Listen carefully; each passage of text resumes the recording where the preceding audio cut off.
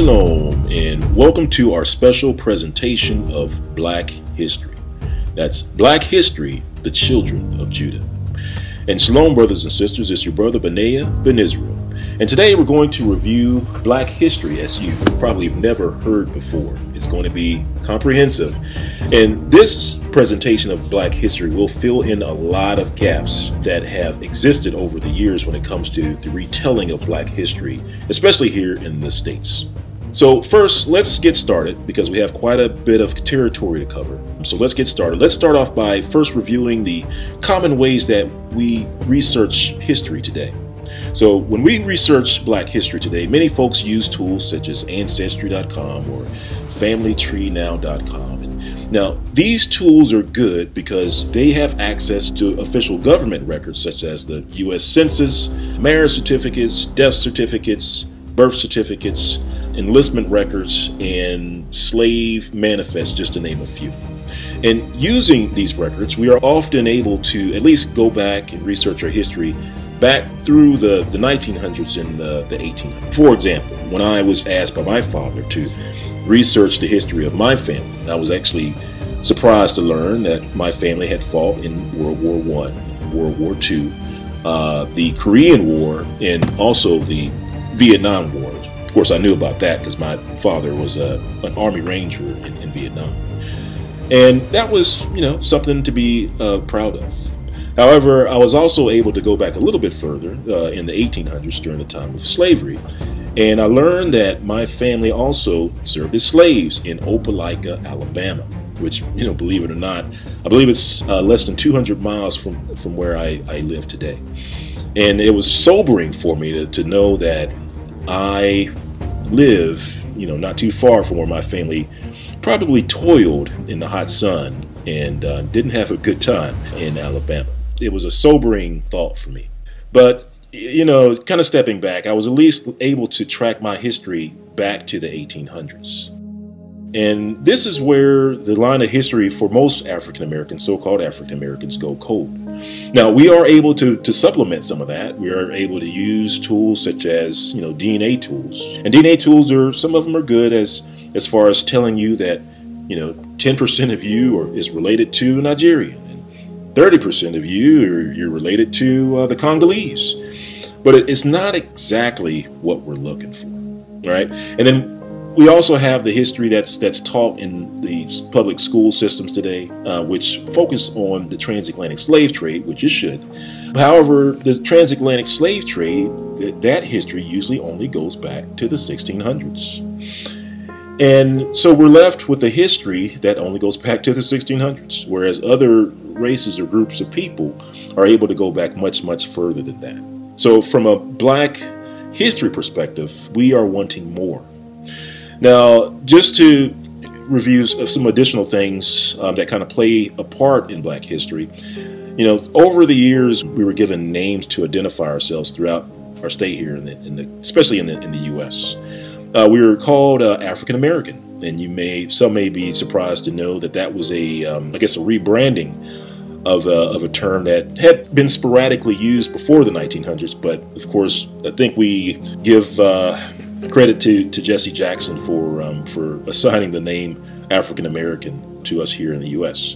However, you know, before African American was used, we were also called colored. And you can see that there's two different spellings of the word colored. C-O-L-O-R-E-D uh, was used first used in 1832, according to the Webster Dictionary, or C-O-L-O-U-R-E-D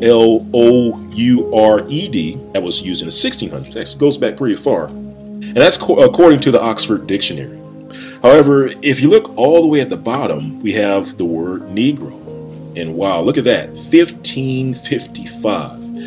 And um, we're actually going to come back to the word Negro. I believe that word is, will help us identify true black history for the so-called African American. But let's just take a note that the uh, word Negro, you know, goes back pretty far in history. So when we take a step back and look at our at the history of the so-called African American, we can see that for the most part, our history goes back to the 1600s. We can see that with the tools such as Ancestry.com and Family Tree now.com, uh, those, at least for, for the so called African American, those will take us back to the 1800s, and then we have some, you know, some scholastic uh, history books that'll take us back to the 1600s. But again, you know, this doesn't go back far enough. You know, there's missing history. In other words, you know, we run into a roadblock, a brick wall, so to speak. And this is a brick wall that we've run into over and over again. Well, the time has come to go beyond this barrier. What we found in researching our history, we found that to get past this barrier, you need three things. And these three things are critical in, for us to reclaim the true history of the so called African American. And here they are. So, whenever Black history is taught, these three things are always, I repeat, they are always left out of Black history. For example, and I'm sure you, you see it there on your screen, the first thing that's left out is the Inquisition.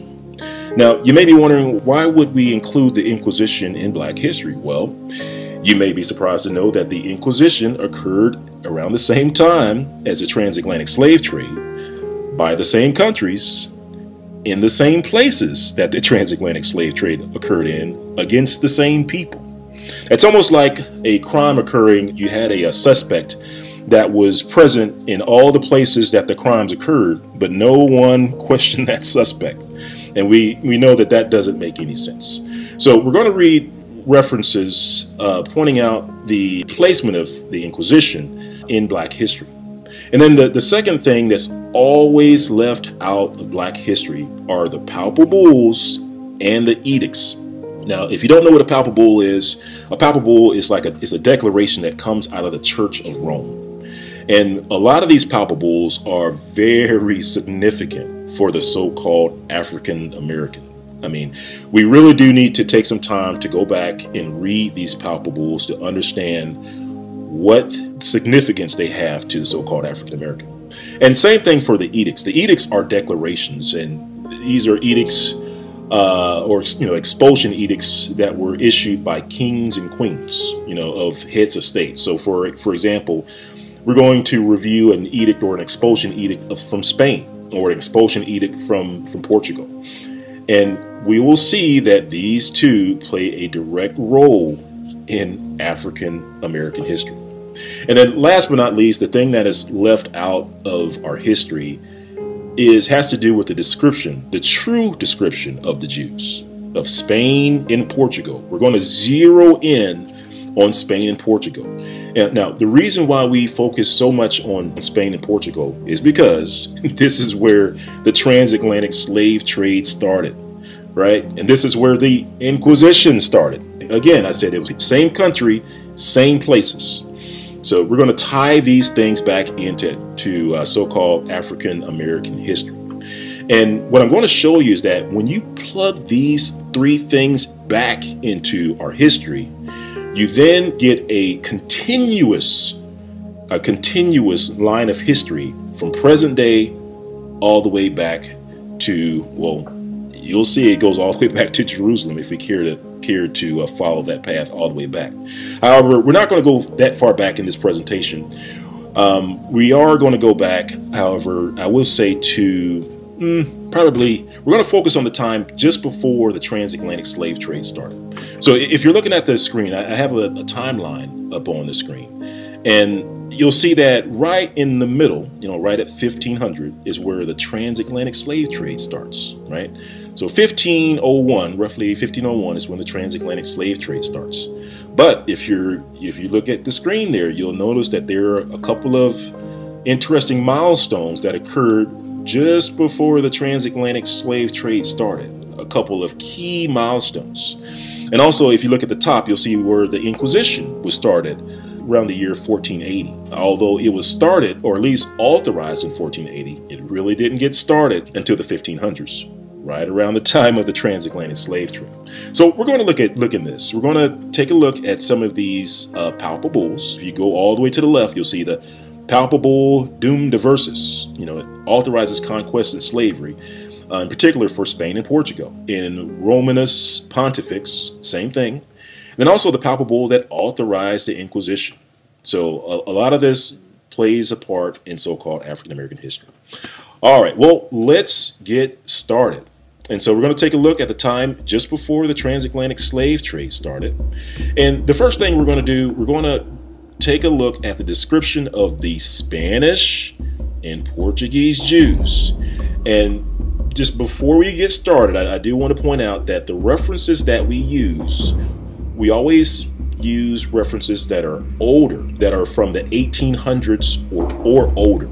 That's you know when you open up a book, you look at the very first page, which is which is usually the title page. It'll have the title on there, it'll have the author on there, and then at the very bottom it'll have the publication date. Well, what's important for us is the publication date. So we try to only use books in which the publication date is from the 1800s or older you know, from 1800s, 1700s, 1600s. You get it, right? So we tend to stay away from books that have a publication date of 1900 or newer, or like 1900 or 2012, 2002, that sort of thing. Okay. And the reason why we do that is because we've, in doing this research, we've noticed that there is a definite difference in the history that's contained in the newer books versus the older books. You know, the books that are were written in the 1900s and 2000s, they say something completely different than the books that were written in the 1800s and older. So for this, you'll see, I'll try to point out some of these publication dates if, if we can get to them. And also, um, just from logistics, the references contained within this video, I usually post them on the website as uh, https colon forward slash forward slash uh, Benea for Israel, you know, the number four, uh, Israel.org. Um, and I should have a, um, um, a link up here shortly. But just that if you want to take a look at these references yourself, read these books yourself, you're more than welcome uh, to do so. And actually, I encourage it because oftentimes you, you really don't believe something until you read it yourself and you put the work in yourself. So the, the whole point of, of this presentation is to empower you to go and look up your own history and to read it for yourself to see what other people said about you, right? To see what they said about you. Because I didn't write any of these books, like all these books that we're getting ready to review in this presentation. None of them were written by Benea. Zero, none of these books. Okay, so just want to put that out there before we get started. Okay, so let's let's get back to it. So first thing we're going to take a look at is the description of the Spanish and Portuguese Jews. The Spanish and Portuguese Jews. All right. So here's the, the first reference, and for most of these references, I, I tried to capture the you know the the title of the book and the author, and sometimes it's on the left hand side, sometimes it's at the very top top. But um, it, so if I don't have it on the screen, um, just go to the website to grab it from there. It should be up there. Um, hopefully by the time this this video is, is there. Okay. All right. So let's get started. So here's the, our first reference. Again, we we want to look at the description of the Spanish and Portuguese Jews, right? All right, here we go. All right, we're going to start at the top. We're going to read quite a bit of this one. So let's start at the top. It says, Thus the Jews are a people who have ever, according to the prophecy, dwelt alone, without intermixing with the nations to this day. Now, this separate race all descends from brown ancestors. I repeat, now this separate race all descends from brown ancestors. For Abraham, Isaac, and Jacob must have been as dark as Mar Yohanan, if not darker. Exhibit every shade of color, from the black Jews of Malabar, of whom we have such an interesting account by Dr. Claudius Buchanan, to the rose and lily complexion of the Jews on the banks of the Elbe. I believe that's in Germany. And let's keep reading. It says, we need go no further than the Jews of southern Spain and compare them with those of Holland and northern Germany to perceive a very striking difference. Here we go. It says, the Spanish Jew is always dark complexion. Okay, I think I need to read that again. It says the, Spanish Jew is always dark complexion. In other words, it's saying 100% of the Spanish Jews are dark complexion. And think about it. How different is that than the picture of the Spanish Jews that is out there today? All right? Okay. All right. So that's our first reference. So we get an, an absolute here, which says the Spanish Jews is always dark complexion. So we're getting an idea of the black Hebrew Israelites, right? All right. So here we go. Next, um, next reference. Your title is at the top. Uh, just go back and say, go, go back and check the website. I not read the the um, the title for each one of these to try to speed it up. So here we go. It says, it's on the right. It says, "Tis also a vulgar error, or a, a it's a. In other words, it's saying it's a big mistake." That the Jews are all black. So he's saying it's a big mistake to think that the Jews are all black. He says, for this is only true of the Portuguese Jews. Okay, so let's understand what he just said, right? He says, it's a mistake to say that, that the Jews are all black. He's saying, for this is only true of the Portuguese Jews. In other words, he's saying that the Portuguese Jews are what? All black. And then he goes on to explain why. He says, Who marrying always among one another beget children like themselves. And consequently, the swarthiness or the blackness of their complexion is entailed upon their whole race. So here again, we have a description that tells us that the Jews are all black. And just to, you know, we're going to show it here in, a little bit later in our presentation, but just know that that the references that we're going to read, uh, it bounces back and forth between the you know the Spanish Jews and the Portuguese Jews. And the thing to keep in mind there is that the Spanish Jews were actually expelled. You know, they were told to get out, and they came out of Spain, and then they migrated over to Portugal. So that's why you know sometimes when it says Portuguese Jews, just know that when it says that, it's sometimes referring to the native Portuguese and also the exiles which came from Spain. So it's actually talking about both of them. But either way, when we look at this uh, this reference, it's, it's telling us that they're all black, right? They're all black. You know, I won't belabor the point there, but um, you know, just folks who who get bent out of shape when we say uh, you know black Hebrew Israelites, uh, and they respond as if that's a uh, something of the imagination. You can see here that it's it's not right. It's not. I mean, and we, I literally have over 50 of these. Uh, I want to say I stopped counting after a while, but I believe it's over 100 of these references, uh, in particular that focus on the Portuguese and Spanish Jews. But I'll spare you the, those references, and I believe in here I only have about 10 or, or so. But uh, there are more of those references around, so be be assured of that. All right. Okay, so let's go over to our, our next reference. And for this, let's see. Um, start at the top here. It says, though thus separate from the African population, they are black and resemble the other Negroes in every respect as to physical character. It said it is probably an allusion to this case that Pennington in his textbook says the descendants of a colony of Jews originally from Judea settled on the coast of Africa are black. All right.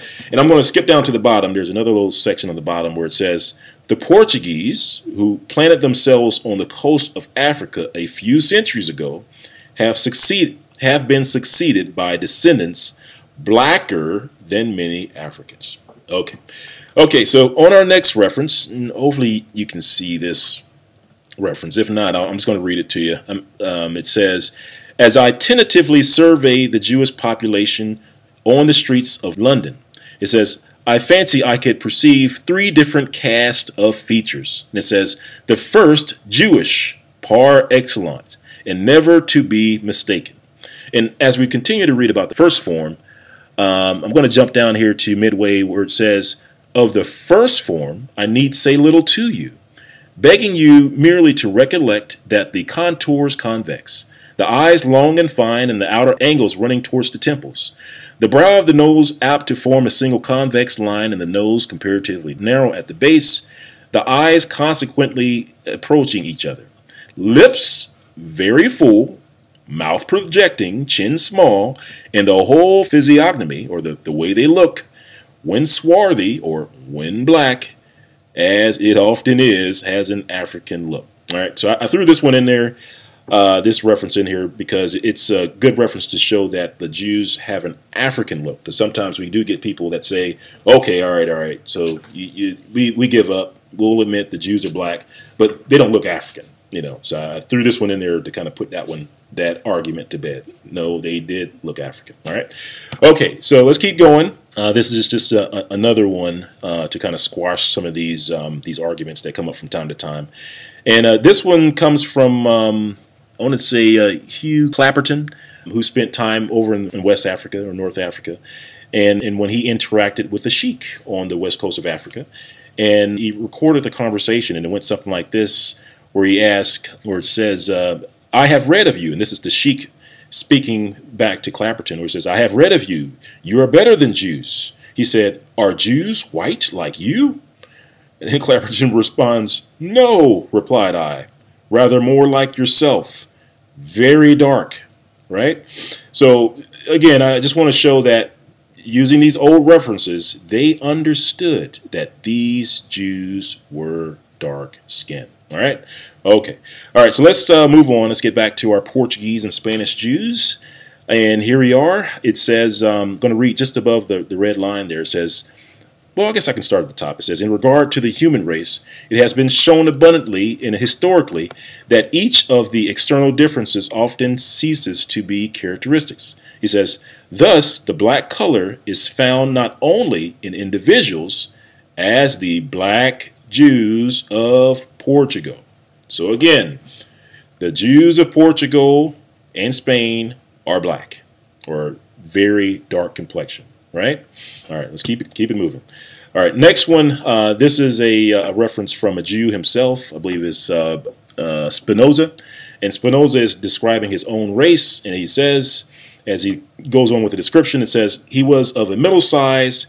He had good features in his face, the skin somewhat black, and let me let me slow down here. The skin somewhat black, black curly hair, long eyebrows, and of the same color so that one might easily know by his looks that he was descended from Portuguese Jews. All right. So again, uh, Baruch Spinoza goes on to show us that people knew that when they looked at a black man, that they knew that he was descended from Portuguese Jews. In other words, they associated the characteristic of the way this person looked to a Portuguese Jew. Okay? All right, so let's keep going. Let's uh, read some additional references. We got, um, let's see how far do we want to go back on this one. Uh, okay, okay, again, we'll start at the top. It says, with reference to the characteristic of color, which are extreme, we have now the opportunities of knowing how much that color is the result of the influence of climate. We know it more particularly uh, by the most valuable mode of testing, such influences which we derive from the peculiarity of the Jewish race. And it says, for 1800 years, that race has been dispersed in different latitudes and climates, and they have preserved themselves distinct from intermixture with other races of mankind. There are some Jews still lingering in the valleys of the Jordan, have been oppressed by the successive conquerors of Syria for ages. It says, a low race of people and described by trustworthy travelers as being as black as any of the Ethiopian races. Again, these Jews were described as black. All right, and let's keep moving. Got another reference here. Uh, just trying to drive home the point that these uh, Spanish and Portuguese Jews were black. And let's see here. Um, uh, I guess we can go directly to the underlined line where it says the Jews of Portugal are very dark. Okay, so hopefully we're establishing a pattern. And here's another one. I, I like this one. This one's from John Macky. This one's from the 1700s, uh, page 26. I think it's like halfway down. It's like the second or third par paragraph, and it says, and he's describing the um, uh, think like a Duke of Nottingham, and he says he hath also the exterior air of business, an application enough to make himself very capable. In his habit and manners, a very formal, a tall, thin, very black man, like a Spaniard or Jew, about 50 years old. All right. So again, this is talking about a Spaniard. You know, this guy's like a, he's very black, like a Spaniard or a Jew. Okay. All right. So hopefully we've read enough references to show you that these Spanish and Portuguese Jews are and are still today black Jews. So if you're doing research on the Jews in Spain and Portugal and you kind of type it into to Google and you get back something that's not always dark or all black, then you know that it is a lie, right? You know that it is a lie because according to the old references, they are always dark complexion. Okay? Okay, so now that we've established color of the Jews, so that just so that when we read through these references, I want us to be able to picture in our mind, you know, who we're talking about. Okay, who we're talking about.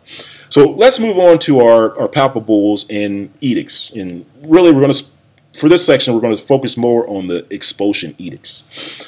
And I want to show you that the first the first thing that happened was that the Jews in Spain were expelled from Spain and then from Spain, they moved into Portugal. So you can see the map there on your screen, and you can see that the Jews moved from the much larger territory of Spain into the much smaller territory of Portugal. And that resulted in a, a large number of Jews in Portugal, which is significant because this is what happened just before the transatlantic slave trade. So just before Spain and Portugal started the transatlantic slave trade, Spain expelled their black Jews.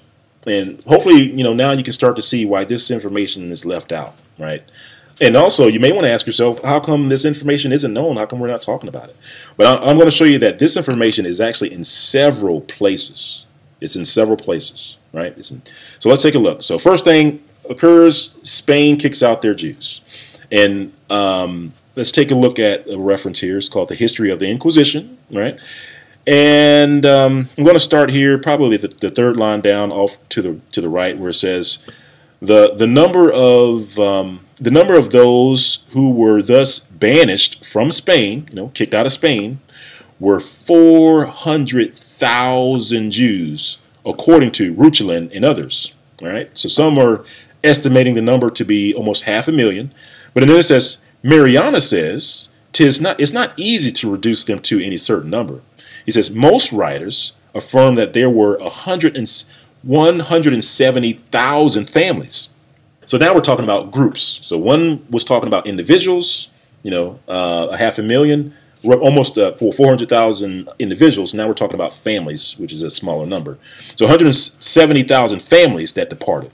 It says others say there were 800,000 persons. So 800,000 individuals, almost a million, 200,000 short of a million Jews. I repeat, black Jews were expelled from Spain. And it says a prodigious number, almost exceeding belief. So you got to wonder, you almost have a million black Jews that were expelled from Spain. How come we haven't heard about them and where did they go? So just before the transatlantic slave trade, let me let me get this. Let me paint paint the picture. Just before the transatlantic slave trade, because uh, what I didn't read was was the date at the top. So on the second line, you'll see uh, it says at Granada in 1492, right? So the transatlantic slave trade started in 1501. So we're less than 10 years before the transatlantic slave trade started. Spain kicks out almost a million black Jews. And the reason why they kicked them out, now I guess we'll read it here, but I'll go ahead and spoil it, was because Spain um, gave their Jews an ultimatum. They said, either convert to Roman Christianity or get out. And you can see that almost a million Jews, or 200 short of a million, decided to get out rather to rather than to accept uh, the Roman version of Christianity. That is powerful. So, but again, we gotta. I mean, we gotta wonder. We gotta answer the question: Where did all these Jews go, all these black Jews who were all black, who were, um, I'm sorry, always of a dark complexion, right? Remember, we, we read that first, it said they're always of a dark complexion. Where did these people that were always of a dark complexion, who are all black, where did they go? All right, well, let's keep reading, see if we can find out.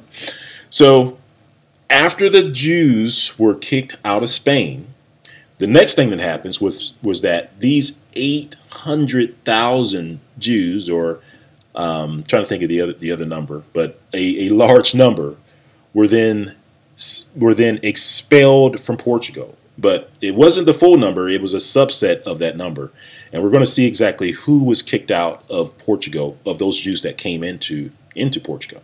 So let's get let's read about some history about what happened uh, when the Jews came over into Portugal. All right. So uh, in this first reference, uh, we're going to read uh, a reference from the official chronicler of King John II. So this is somebody that actually holds a, a position in government. Right. His name is Garcia de Resende, and it goes on to say, and this is on page 17. It says he reports on one of the methods to populate this island, and he's talking about uh, St. Thomas on the west coast of Africa.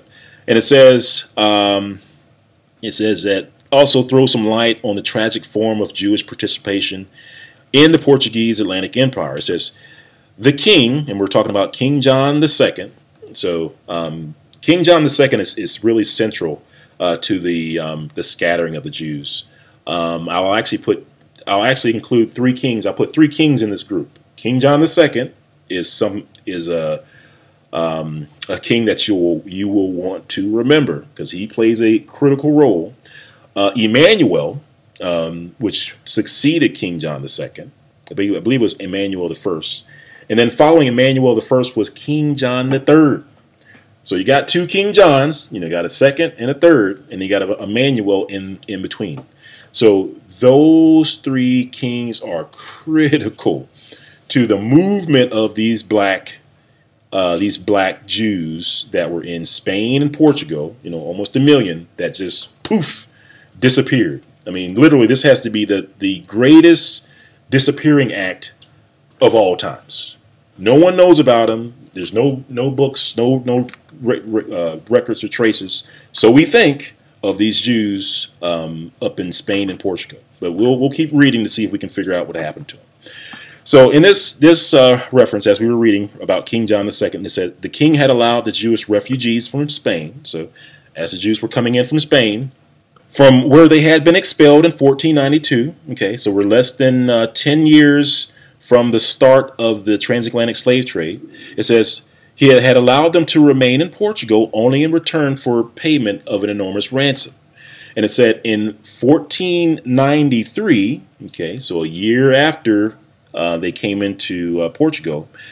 Uh, it says, Those who could not pay had their children taken away from them, baptized by force, and deported to St. Thomas or Sao Tome in order to be raised as Christians and to help populate the island that the king had just leased to Alvaro, who was a, a governor. He was the governor of St. Thomas. So, just to recap, the king allowed the Jews to come in and then uh, almost uh, six months to a year afterwards, the Jews that couldn't afford to pay, pay the tax, he took away their children.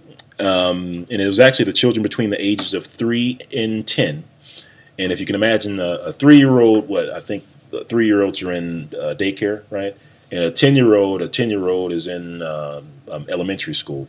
So you take those kids away from their parents and ship them with strangers by themselves over to the west coast of Africa in great numbers. Eh, this this is one of the, the dirty the dirty little secrets of um, of uh, of the I want to say the transatlantic slave trade, but we haven't tied that that together just yet. But this was this was a major major major event uh, that occurred in Portugal, and it's recorded like all over the place. Um, but it's never, like I said, it's never talked about when it comes to Black history. And you got to ask why, right? Because here we are, we're dealing with a, a black people, a people that are always very dark, a people that are all black, being sent to the west coast of Africa, to the very place that the transatlantic slave trade started. And we are only, we're less than 10 years before the transatlantic slave trade started. And here we are putting black people, black, dark skinned people on the west coast of Africa in the same places where the transatlantic slave trade is getting ready to start. All right, so let's keep reading because we, you know, we always like to cross-check our references using additional references. So here's our next reference, uh, page 57, and uh, let's see here, and we're talking about King John again, our favorite king. It says, um, and this talks about, let's see, the, unfortunately, at the time of the expulsion, uh, plague was raging in Castile. So this is talking about in Spain when the Jews were kicked out of Spain. There was a plague at the time, and it says, and the and the fugitives, they're calling them fugitives now, brought with them the disease prop, and propagating it with it wherever they went. So we're getting some more information. It's telling us that when the Jews came out of Spain into Portugal, uh, there uh, there was a disease that followed them into Portugal. And it says, uh, and not unnaturally causing their advent to be viewed with loathing and horror. So, in other words, it's saying that when these Jews came in, they brought the disease with them. And of course, you know, you got people coming in, almost a million people coming into the country bringing a disease. You know, uh, the people in Portugal, they it didn't sit well with them, right? Probably just probably wanted them to get out, get out. And it says the circumstance induced King John to hasten their departure from Portugal. Well, there you go uh, from which purpose ships were duly provided according to according to the agreement. Just looking at my time here. Uh, but such was the temper of the captains, captains and the sailors that they subjected the Jews to the hardest possible condition. They plundered them of their goods and valuables, even to their very clothes, and landed them naked and bare of everything on barren points of the African coast, leaving them to die of starvation or, listen, to be sold into slavery to the Moors. Nor was this all. It says, the king wrested or took from their parents all the children between the ages of three and ten of those Jewish immigrants who from poverty or otherwise had omitted to pay the capitation tax on entering. Uh, or, or, and it's actually saying that there were some other reasons why the children were taken from their parents. It says, or uh, who were forced to remain in Portugal. So those that couldn't leave Portugal, uh, that were forced to remain, it says, had them transported to the newly discovered island of St. Thomas. All right, so again, in this reference, we see same thing that we read in the first reference. The Jews came over, the Spanish Jews, these these always dark complexion Spanish Jews, uh, almost a, almost a million, came into Portugal. Uh, the ones that couldn't pay had their children taken away from them, or the or or it says or the ones that that that hadn't left yet uh, had their children taken away, and the ones that did leave they were dumped on the west coast of Africa by the ship captains who were treating them very badly. All right. So again, we have all of these black Spanish Jews being placed in on the west coast of Africa, um, omitted totally omitted from from history, from so-called African American history.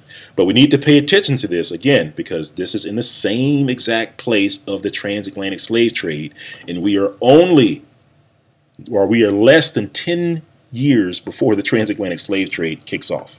All right, so let's keep reading. And let's see here. I'm going to read the whole thing on this one. Uh, why not? It says The Jews, after the admission into Portugal, were no less unfortunate than the other exiles from Spain. It says In the year 1493, when King John II conferred this, the um, what is that word? Sovereign, I'm not sure what that word is. Of St. Thomas Islands upon oh Don Alvaro. In other words, he assigned the island to Don Alvaro. He is the governor. He said he obliged the latter to people it. So he wanted the governor go, governor to people this island. And it says, for this purpose, he ordered that all the Jews should have their sons and daughters of tender age taken away from them, and that after the baptism of the latter, these should be have been handed over to Don Alvaro for the purpose of peopling the, the said island of St. Thomas. Okay, so it's say, saying the same thing over and over again. Uh, the Jew, the children of the Jews, you know, these young, young um, children were taken from their parents and sent over to the west coast, west coast of Africa. However, one thing we haven't touched on yet is the um, the number of children that were sent over. Was it just a few? You know, was it just a thousand? I've seen references that talk about you know just a, a handful of Jews getting over there. But let's take a look. I'm, like I said, there are plenty of references around that describe this major, major, major event that occurred in Portugal, right? By King John II. This is King John II that we're focusing on so far. All right, so on to our next reference, and this one says, The sons and daughters shall be given unto another people. It says, How exactly has this prophecy been fulfilled in several countries, especially in Spain and Portugal? Oh, this is referring to uh, uh, the biblical prophecy. It says, In the former of these kingdoms, the Council of Toledo decreed that the children of the Jews should be taken from them and educated in the Christian religion when they were expelled, all under 14 years of age were forcibly detained to baptism. Okay. So again, just another reference uh, talking about the same same event. Again, a major, major, major event of having these uh, black, these always dark complexion, all black uh, Jews sent to the west coast of Africa. But let's see if we can get some numbers from this thing. Uh, let's see here. It says uh, the first design of settling there was in the year 1486. But perceiving how many had perished in the attempt, uh, in that they could better agree uh, with that of the continent on the coast of Guinea. So if you don't know, Guinea's on the uh, west coast of Africa. And I'll pull up a map here shortly. And it says, it was resolved by King John II of Portugal that all the Jews within his dominion, which were, listen, vastly numerous. Wait a minute. So the Jews, these black Jews, were vastly numerous in Portugal just before the transatlantic slave trade? Well, let's keep reading. It says, These Jews, which were vastly numerous, should be obliged to receive baptism or, upon refusal, be transported or sent to the west or to the coast of Guinea, which is the west coast of Africa, where the Jews had already several, well, I'm saying where the Portuguese had already several considerable settlements and good trade, considering the time since its first discovery. Okay, so again, um, we are um, we are uh, seeing that the Jews were sent over to the west coast of Africa, and we're seeing that the Jews were vast. Excuse me, that the Jews were vastly numerous, right? Vastly numerous. All right, next reference, and it says, all Jewish children below the years, I mean, below 14 years of age were torn from their parents' arm, dragged into the church, baptized. Those under three years of age were given to Christians to receive a Christian education. Uh, or, in other words, to be raised as slaves. And we're going to come back to this here because the, another point, too, was that the, these Jews were taken from their parents, and the whole purpose was for them to become Christians and to be raised as slaves, right? And again, what I tell folks is, you know, these are my words. These is this is what these authors wrote in their books, right?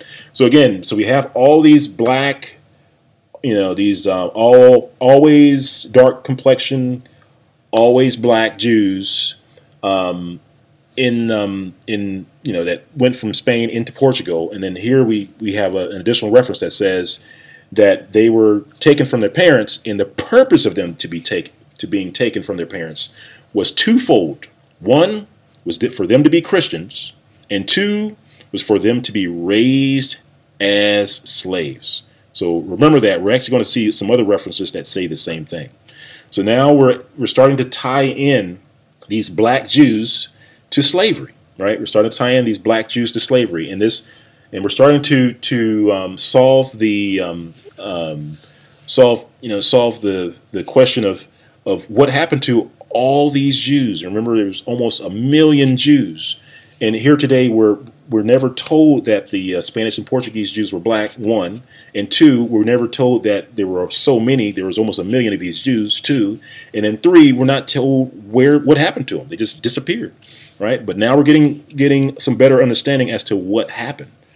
It says that they were taken, you know, looking at the children first, taking a look, a look at the children first, because this was not a, a one-time event, right? And you'll see it here as well. But um, you know, first we're dealing with the children. Children were taken from their parents uh, to be raised as Christians and slaves, and it goes on to say that those between the ages of three and ten were put on board of a ship and conveyed to the newly discovered unwholesome island of St. Thomas, right? All right, so same thing.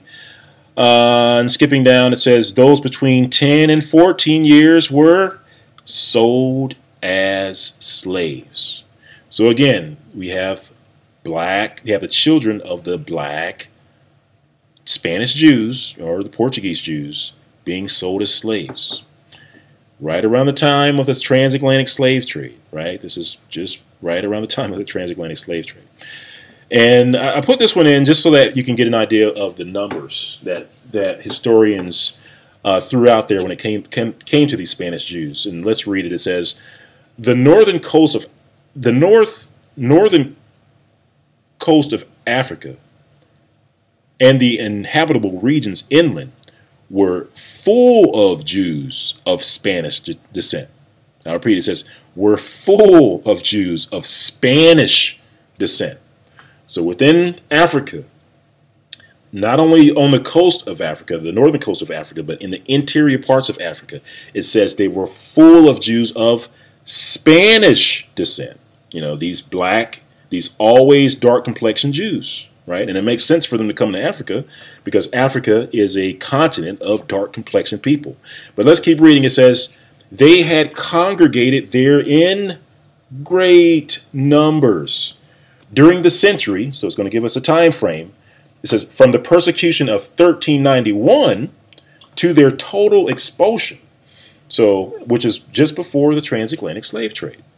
So, in other words, we see that there was a um, a time frame, a window in which all uh, you know it says great numbers of Spanish Jews started flooding into Africa. Okay, okay. So here's another um, reference we're going to read. It says, the Castilian Jews, and that's another name for the Spanish Jews. It says, the Castilian Jews who from poverty or from or any other cause had not departed at the time at the at the limited time.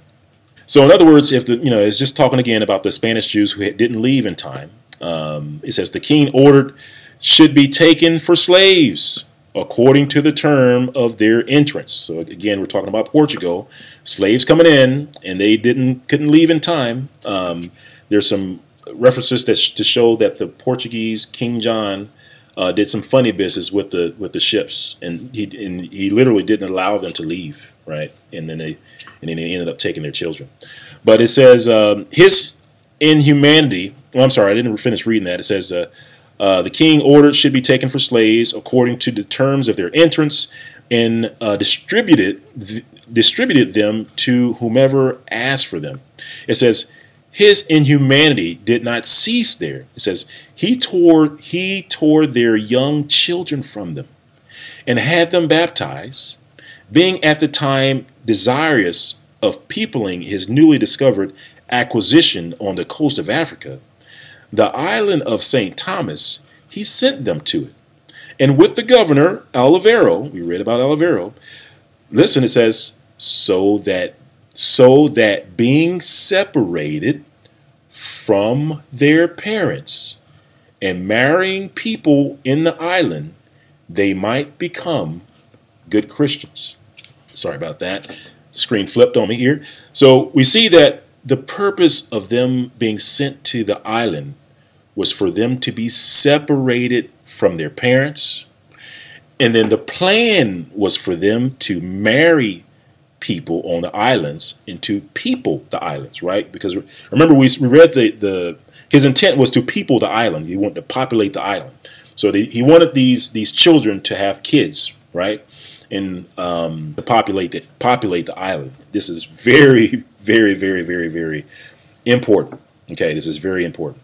So that the um, here we are, and let's get our timeline straight. So in 1490, 93, we'll say 1493, we're send, we're starting to send these these children to the to the west coast of Africa, and the whole point is you know for them to populate the island, get married, have babies, and to become become Christians.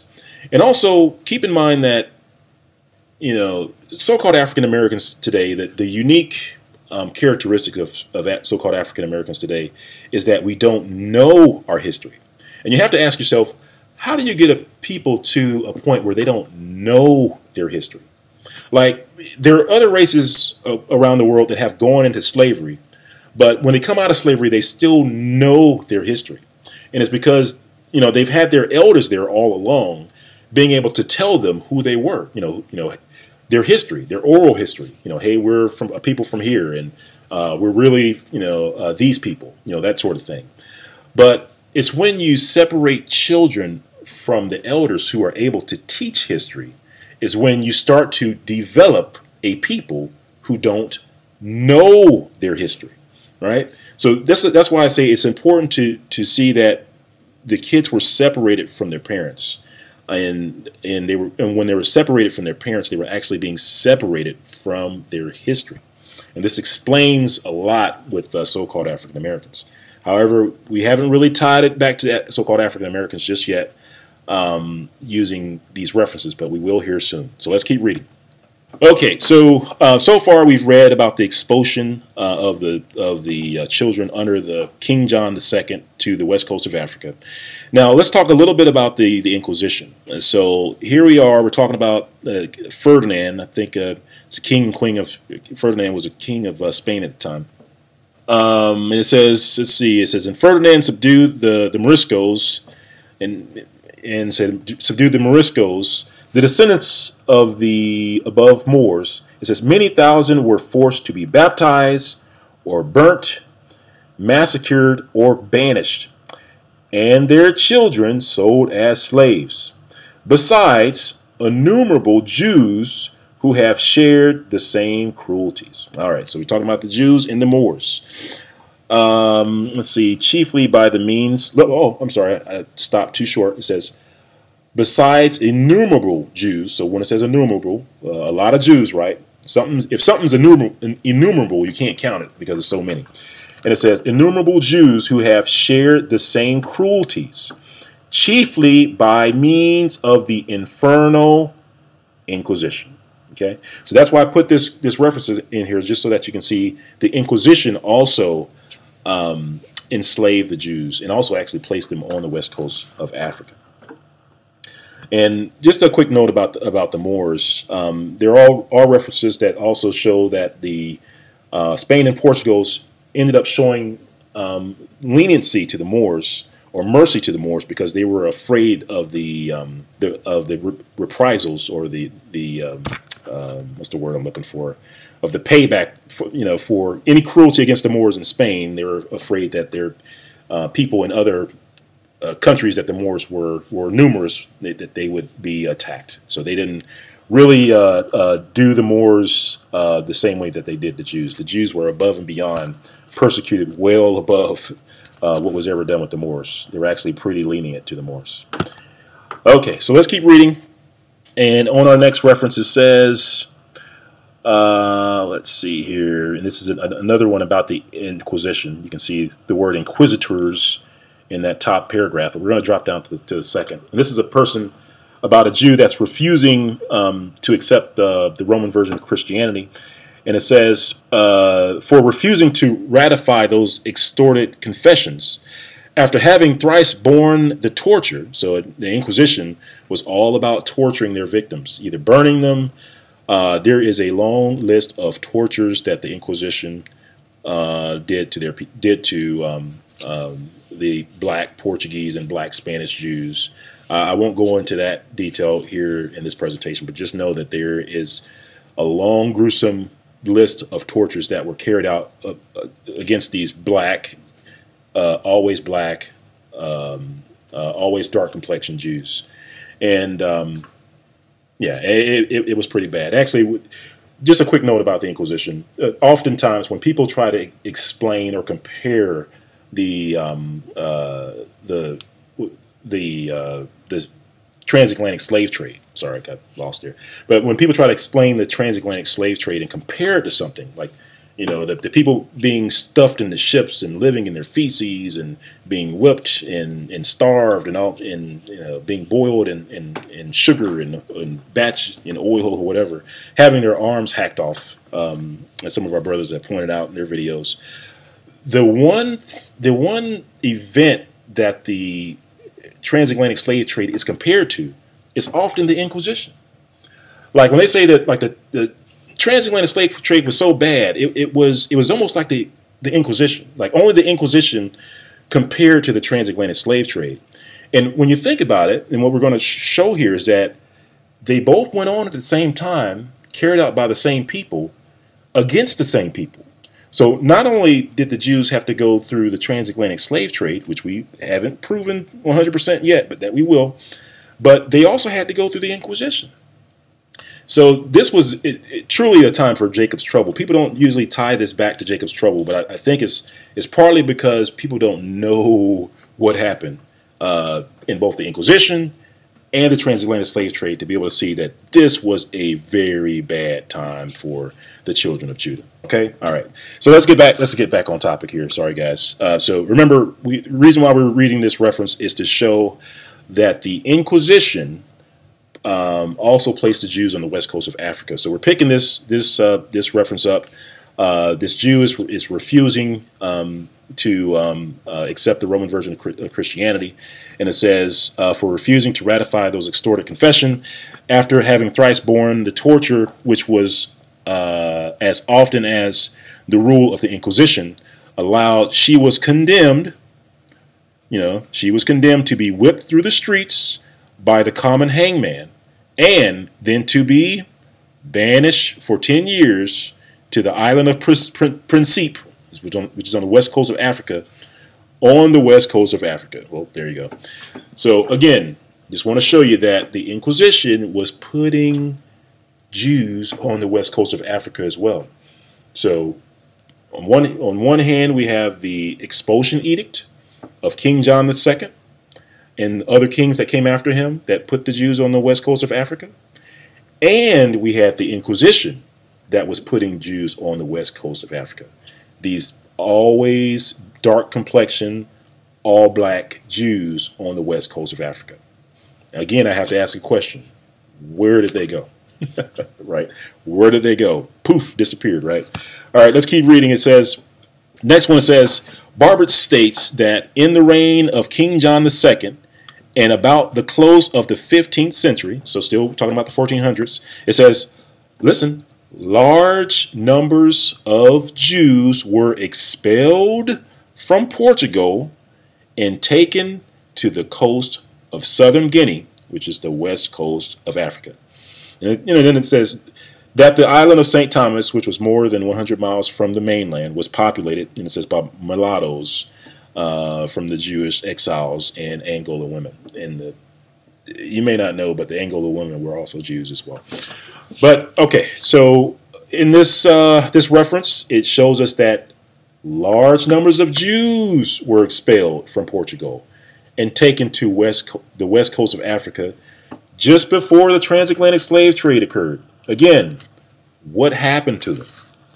The biggest disappearing act of all times. All right, so let's keep reading. And um, we're going to read the, the part that's in the, the section here. Um, and this one actually talks about King John the Third. so King John the Third. Let's see what happened about into about King John the Third. So now I'm actually going to skip down to. I know it's not good to read mid sentence, but it's pretty word. It's pretty wordy. Um, so I'm just going to skip down to where it says that John the Third, King of Portugal, sent a colony thither above 200 years before, whom though the unwholesome air destroyed Yet the place was not left desolate, for he, King John III, sent new inhabitants who first settled Guinea, west coast of Africa, next Angola, a little bit south, that includes uh, the Congo and uh, Angola, which is a little bit south of the west coast of Africa. Well, it's the west coast of Africa, but it's south, central and south Africa. And then it says, um, who first settled Guinea, next Angola, and lastly on the island of St. Thomas, we've talked about that, that so they might be better used to the air. And it says that the said king, King John III, sold all those Jews for slaves that are on the west coast of Africa eh, that refused to embrace the Roman religion and caused their children to be baptized, from whom these children coming thither, west coast of Africa, in great numbers. And it says, most of the present inhabitants were descended. So again, author after author tells us that these Jews were sent to the west coast of Africa. And I do want to take the time to point out that the Jews that were sent to the west coast of Africa were actually the Jews that were that were resisting the Roman version of Christianity. In other words, you know, when the the Spanish and the Portuguese gave the Jews an, ult, an ultimatum, they said, "Hey, you can either stay, you know, become Roman Christians, or you can leave." You know, um, but if you leave, we're going to take your kids from you, your children from you. I want to point out that the ones that the children that were that were shipped to the west coast of Africa were the were the children of the Jews that were resisting the Roman version of Christianity. Okay, so I want to make sure we understand that that I, I use I call them the rebels. You know, I'm, I'm, in some of my videos I call them the rebels, but these were the children of the rebel Jews. These were the children of the Jews that did not want to accept the Pope as the replacement of Christ. These were the children of the Jews that did not want to throw away the Sabbath. These were the children of the Jews that did not want to throw away the, the law, statutes, and commandments of the Most High Yah. These were the children of the ones that stood up against the Roman version of Christianity. And yet they were sent to the west coast of Africa for the purpose for them to be made Christians and remember our references to become slaves, right? And to become slaves. So just want to make sure we understand who, you know, the, the children, the description of the children that were sent to the west coast of Africa. And also, I do also want to show you a map just so that you can get a visual of where these children were sent. So whenever we say, whenever we, we read in these references where it says Guinea, that's going to be this, you know, for the most part, these this yellow territory here on the map. And then uh, Angola is a little bit below the yellow territory. Well, not a little bit. It's a lot. Uh, it's a, the territory below the yellow um, uh, territory on the map. And there's also a small territory up here. I want to say it's in Senegal uh, up here as well. That's not uh, shown, but for the most part, uh, it's the west coast of Africa, right? And this is where this is ground zero for the transatlantic slave trade. So just before the transatlantic slave trade, we just we just have a, a, a large number of black, of all black Jews sent to the west coast of Africa. And poof, where did they go? The question is, where did they go? All right, so I got a couple of things on the on the screen for you. One is is just a quick um, um, snapshot of a map. Actually, it's just a, a crop. I cropped a picture of a, of a map, and what's circled there is the French word for the kingdom. It says the kingdom of Judah. So this is the slave coast, and it's the it's the slave coast when the Portuguese took the children and placed them on the west coast of Africa, the Portuguese then named pieces of the west coast of Africa, or part of the west coast of Africa, and they called it the Kingdom of Judah. So the, let me say it again: the Portuguese took these children, these Jews, these children of Judah, from the from uh, Portugal, put them on the west coast of Africa. Then they named um, part of the west coast of Africa the Kingdom of Judah. And let's read about it. Um, you can see it on your screen there. Let me see if I can zoom in. Well, I'll, I'll just read it for you. And it says, uh, east of the Popo begins the Dahomey territory guarded by the important town of Gliwice. Uh, it says known to Europeans by various names. And I'm going to skip here. It says, the old writers called it Judah. And its inhabitants were said to be Jews.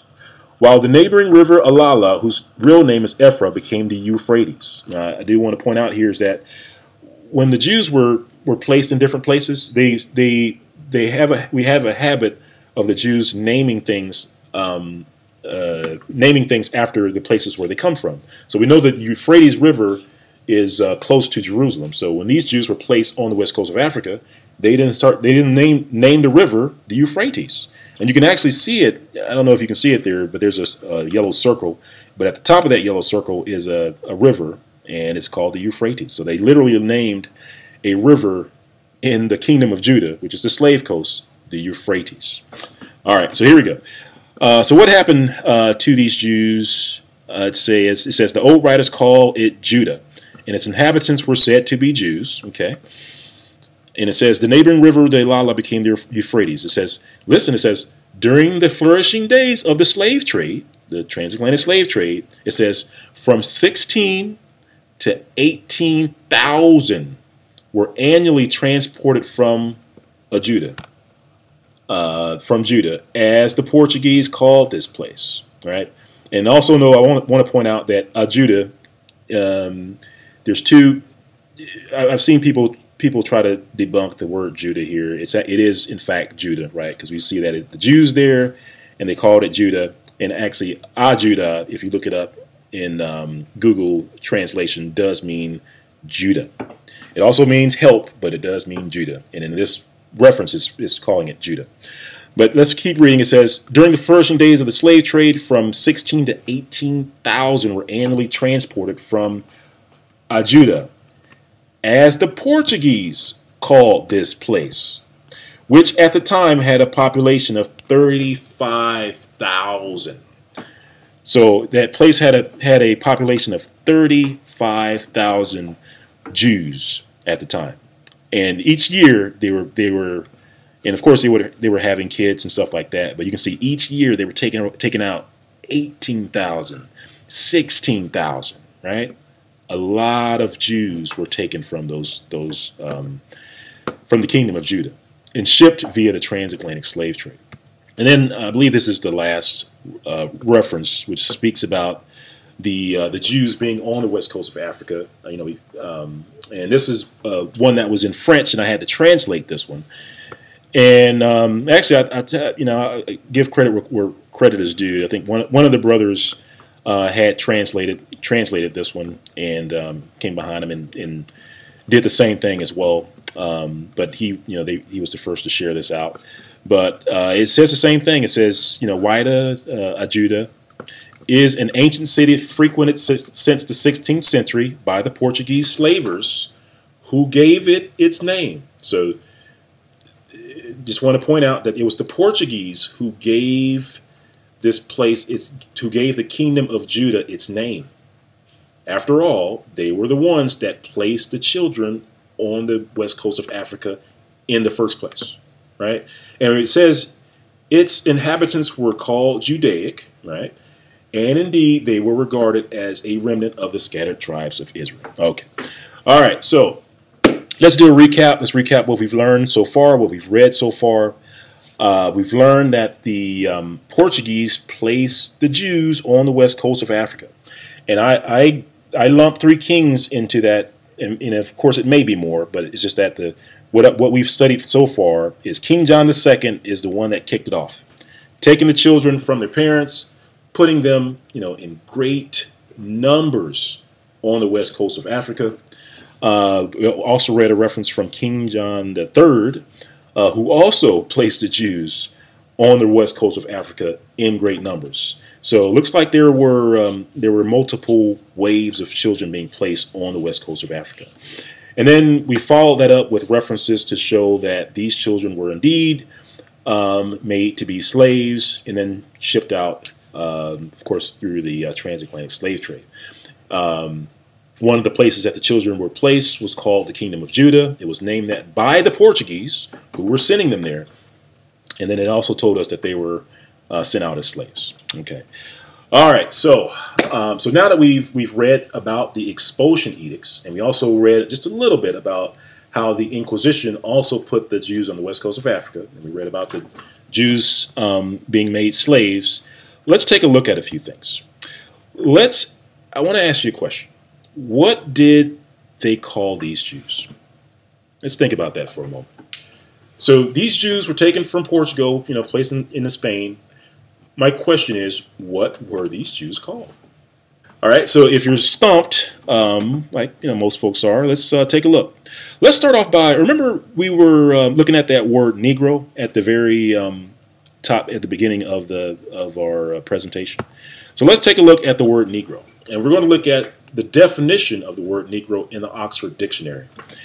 And it says, you know, Negro, it means a member of a dark skinned group of people originally native to Africa, south of the Sahara. Okay, so in other words, Negro means a, a person, an African person, a dark-skinned African person, right? A native. I'm sorry, a native dark-skinned African person. But then if we keep uh, scroll all the way down to the bottom, it says usage. It says the word Negro was adopted from Spain and Portugal. And it says, and first recorded from the mid 16th century, so during the 1500s. So um, in the 1500s was when the word Negro meant a native African dark-skinned person. Okay, but let's uh, uh, like we you know always like to cross-check our references, so let's cross-check that with Webster's. So Webster's dictionary says pretty much the same thing. It says Negro, a member of a race of human uh, humankind native to Africa and classified according to physical, physical features such as dark uh, skin pigmentation. Okay, pretty much in the same um, with in alignment with the um, with the Oxford Dictionary. And we're going to take a look at the usage that um, the first time it was used according to the Webster Dictionary. And it says, wow, look, it's giving us an exact date 1555. So, according to Webster, in 1555, the word Negro was first used to mean a native African. Uh, it was in 1555. So, I'll tell you what, let's take a look at the reference that Webster was referring to. So, we're going to go to uh, 1555. So, this what you're looking at is a, uh, a book that was written in 1555. You can see it, I have it underlined, right? It says publication date 1555. And what I underlined for you is the first time that the word Negro was used to refer to someone that was a native African, right? So the first time that the word Negro um, meant a native African was in 1555.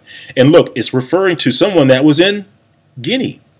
It says Negro de Guinea.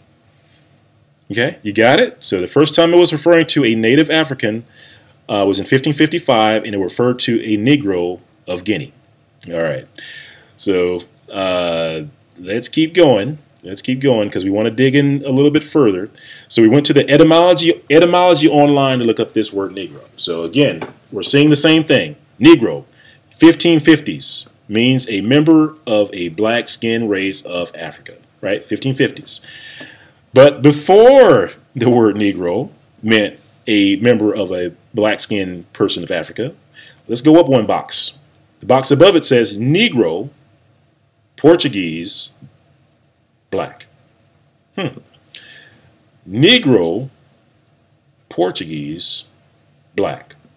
So before 1550, the word Negro meant Negro. It was a Portuguese black. So in other words, it was a Portuguese word for black, right? So let's look at that on our timeline.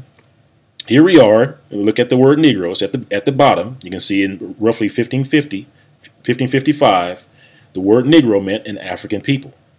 But before then, I, I have question marks. You know, before 1555, what did the word Negro mean?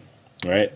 And uh, just to take a look at the timeline before 15, 1550, we have a couple of things happen, right? We have the Jews being expelled. We haven't really talked about the papal bulls, um, but the Jews were at least expelled from Spain right before the transatlantic slave trade, and they were placed on the west coast of Africa and the, the whole point of them being placed on the west coast of Africa, Africa was for them to uh, become Christians and slaves, and they were to, to be and to people the island, right? Because they um, ended up uh, having those kids marry um, the, those Angola women who were, who were also uh, from the tribe of Judah. So, after the kids were placed on the west coast of Africa, uh, and they married uh, the the Angolas. After a little short time after that was when, and they were placed. Remember, remember in our, our reference, uh, they were placed on Guinea. You know, so here we are in Guinea. They were being placed on Guinea, and then a few a few years later, then we have a definition of the word Negro to mean uh, a native African in Guinea. All right, so hopefully you're seeing things are starting to kind of line up here, but we need more, right? We need need some more proof. So first things first. Let's. You may not know that the Jews were called by another name. The Jews were called by another name, and let's read it. It says in Portugal, the name. Oh, I'm sorry. In Portugal. So again, we're talking about Portugal, who were the ones that took they took the Jews out and put them on the west coast of Africa, right? You'll learn that Portugal hate Portugal hated the Jews with the with the passion, uh, and you can probably see that, right? So in Portugal, it says the name of a Jew is a term of such high reproach that the government found it necessary necessary to enact a law which forbid any person to call another by that appellation or by that name. It said, if a man who is styled a Jew to, uh, who, yeah, it said, if, if a man who is styled a Jew to his face stabs the offender, the law does not condemn him. So, in other words, if a person is called a Jew to his face and the other person were to kill him, it said the law did not condemn the person for killing that other person, right? Because, you know, they couldn't call a Jew a Jew or they couldn't call another they couldn't call a person a Jew. They couldn't they could not use that name according to this reference. So then the question comes, what if they can't if they couldn't call a Jew a Jew, what did they call him? I'm sure you're probably already guessing, but let's let's let's take a look. So we read this, I, I, pulled out this reference before, but let's take a look. So we're going to go back to the time of King John II again. This is during the time of the expulsion. And it says King John II in 1492 expelled all the Jews uh, to the island of St. Thomas, which had been discovered in 1471, and to other Portuguese settlements on the continent of Africa. Okay, so I do want to point out that King John II not only sent them to uh, the island of St. Thomas, but also to other places on the west coast of Africa, and that's also what this this um, this uh, reference is pointing out. So, yeah, they went to St. Thomas, but they also went to other places on the west coast of Africa. And it says, and to other Portuguese settlements on the west coast, I'm sorry, and to other Portuguese settlements on the continent of Africa. And listen, listen close, closely, it says, and from these banished Jews, the black Portuguese, as they are called. First thing we need to we need to point out here is that it is the banished Jews that are called black Portuguese during the time of King John II. Second thing I want to point out is that the Portuguese, right? Remember, this was a, uh, we read in the, the previous slide that it was a Portuguese law that said that they can't call a Jew a Jew. So what did the Portuguese call the Jews? Well, they were calling them black Portuguese. What is the Portuguese word for black? Negro. You see where we have Negro here? So we had the word Negro, which meant a, um, a black skinned race of Africa in 1550s. But before then, it referred to black Portuguese. Negro. Got it? So the word Negro was used to describe the black Portuguese Jews. And let's see here. I, I believe, um, yeah, I was using this reference just to show you that the Jews were placed on the coast of southern Guinea. Um, so you see, large number of Jews were expelled uh, from the port from Portugal and taken to the coast of southern Guinea. And these Portuguese Jews were called black Portuguese, or they were called Negro Portuguese, or they were called Negroes. And then once they were sent to the uh, southern Guinea or the west coast of Africa, they said, well, here it says southern Guinea, right? The very first reference that um, the, uh, the Webster Dictionary says was used to describe a, a, a uh, how can I put it? The very first reference, which meant a African, a native African people, referred to Negroes of Guinea. All right, Negroes of Guinea. So the whole point of, of these references is to show that the Portuguese were called Negroes. The Portuguese were called Negroes. I'm just going to backtrack here just so that you can see where it says these banished Jews, the black Portuguese, as they are called. The word black in Portuguese is Negro. So the, these Jews were called Negroes. Okay? And just as an as a uh, another, I wanted to throw another reference in here, and that's one one of the ones I've put in other videos where it says the Jews are composed of three or four separate racial elements. The the Asiatic Negroid strain shows itself occasionally in curly hair and the long eye, in proportions of the skull. The Jewish hybrids with the Negro in Jamaica, in Ghana, reproduce most strikingly the Assyrian type. So now this this reference you know makes a little bit more sense, knowing that the Portuguese uh, called their Jews their ex, their expelled Jews Negroes. Okay, all right.